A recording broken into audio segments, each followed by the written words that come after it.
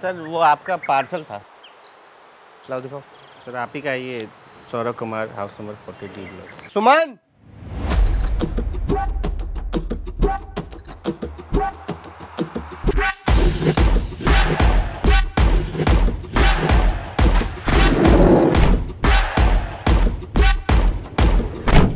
सीधा पहाड़ से?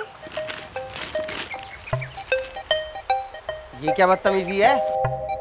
मैं भी यही पूछना चाहता हूँ सर। ये क्या बदतमीजी है? अरे कौन हो? कहाँ से आए हो? मानसिक संतुलन ठीक नहीं है क्या तुम्हारा? सीधा पहाड़ से मैडम। मैं भी और ये कूड़ा भी। आज आपके घर में जरा सा कूड़ा क्या फैल गया? आप मेरे मानसिक संतुलन के बारे में पूछ रहे हैं। जब आप मेरे घर में इतना सारा कूड़ा फैला आए तब आपका मानसिक संतुलन कैसा था? अरे ये सच में पागल है कोई। अरे भाई हम कब तेरे घर के आगे कूड़ा फेंक कर आए हैं? इतनी जल्दी भूल गए सर। अभी इसी गर्मी तो आप आए थे मेरे पहाड़। मेरे गाँव भी आए थे ट्रैकिंग करने के लिए।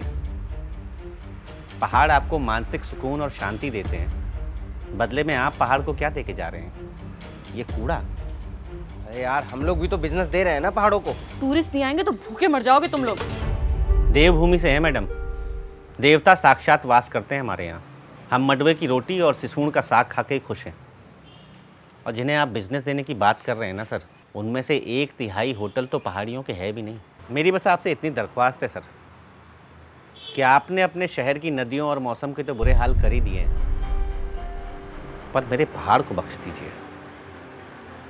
वरना मैं इसी तरह ये कूड़ा वापस करने आता रहूँगा। तो सिर्फ़ एक पैकेट हमारे लिए लेकर आया है? मतलब हम ही जाते हैं अकेले पहाड़ों में?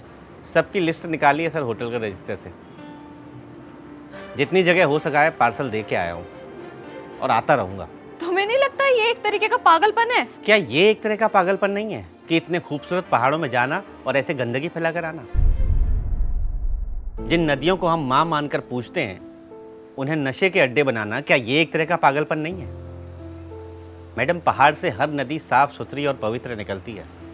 लेकिन आपने शहर में उनके क्या हाल कर दिए हैं? क्या ये एक तरह का पागलपन नहीं है? जब आप लोग बीमार पड़ते हैं तो डॉक्टर आपको सलाह देता है कि पहाड़ होकर आइए, घूम के आइए, वक्त बिताइए। कोई मन्नत मांगनी होती है तो पंडित जी आपसे कहते हैं कि पहाड़ के धार्मिक स्थल में जाके मन्नत मांग के आओ। पत्नी को, बच्चों को, परिवार को घुमाने ले जाना होता है तो आपको पहाड़ याद आता है, पर कूड़ा आप पहाड़ में क्यों भूलाते हैं? क्या ये एक तरह का पागलपन नहीं है? और अब ये पागलपन बंद कीजिए।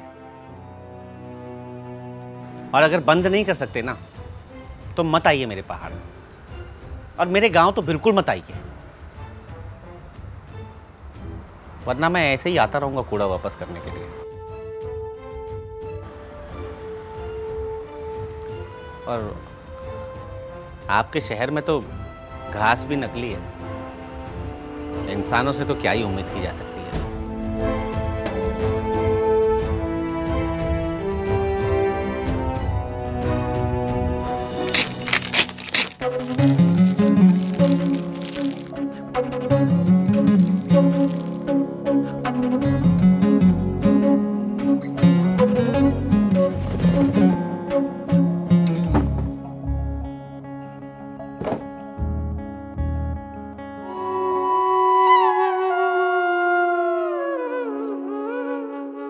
मुझको फासलों का मकसद सिखाती है सड़क।